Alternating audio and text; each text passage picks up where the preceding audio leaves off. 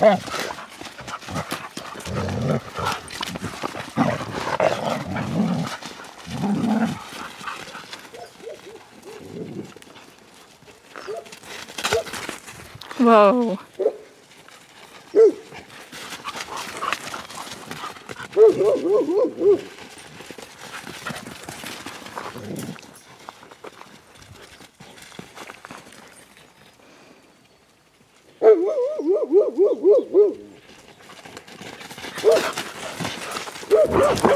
Ho, ho, ho, ho.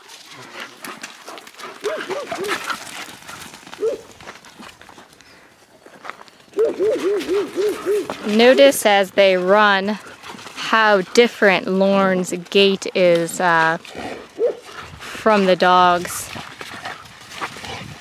Now Doberman, their their play style is is really really not compatible with many other breeds other than the Doberman. Lorne is very very forgiving. And Baladi, the noises that she makes are more akin to a jackal. She is not uh, a typical dog, or I don't really even consider her one.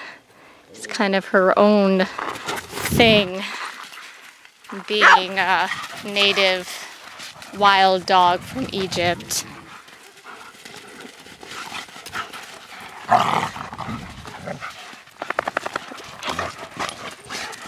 Ooh, takedown. This is definitely the most I have seen them play because it's been so hot. See, now Sugar Tree would like Lorne to stop, but Sugar Tree started it. And now Sugar Tree is showing Lorne, you know, knock it off. Lorne is respectful, lucky for Sugar Tree. Dobermans are smart, but they are no match for a wolf.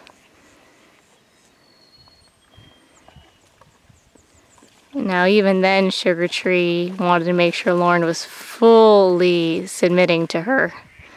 She is a very, very tough dog.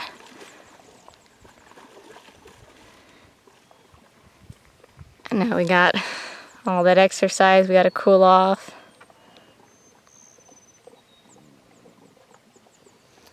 Here comes Baladi off in her own little world. Hey, Belladies.